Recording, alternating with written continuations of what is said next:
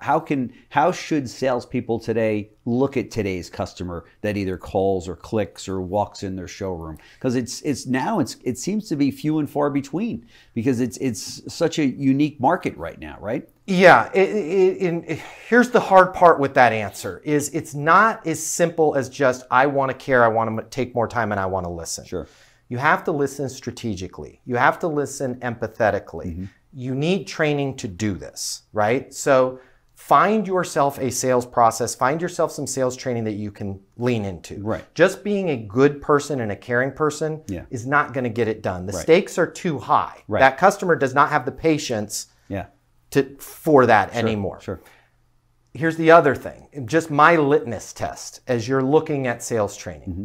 If it's not something that you can do with your wife, if it's not something that you could say to your husband, if it's not something that you feel comfortable with talking to a partner or a friend, Mm-hmm. right? Like, let's say you ask your wife to go to dinner at a specific restaurant and she says, well, no. And you go to your sales book and say, well, you know, oftentimes when I hear no, it typically means two things. Either you're afraid to tell me something that I'm not hearing, or maybe if you're like, wow, that would get me slapped. Right. That's probably not the sales training that's going to work for you today. Right. Now, if you find a training program or you find a process where you can use it with your kids, Right. you can use it with your spouse, you would feel comfortable having this dialogue Yeah. with your mother, your grandmother, your grandfather. sure. That's the sales process that's going to work today. Right. Because the way of us acting like a salesperson at our job, Like a sales machine. Correct, and Right. taking that hat off Right. and going home and being a normal person Right. is over. Right.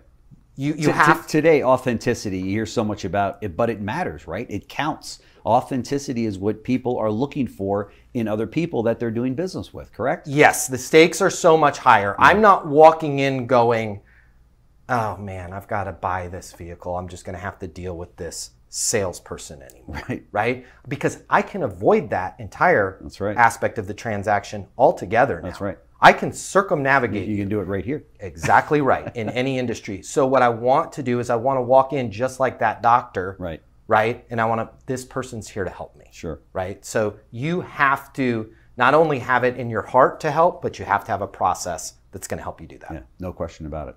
Matt Easton, sales trainer, consultant, founder of Easton University. For those of you that are listening to us have this discussion, he's right. You know, you got to have a process. You got to have the necessary training in order to win today. These are the kinds of solutions that we want to bring you to your businesses and your showrooms. So, uh, Matt, thank you so much for joining us on the show.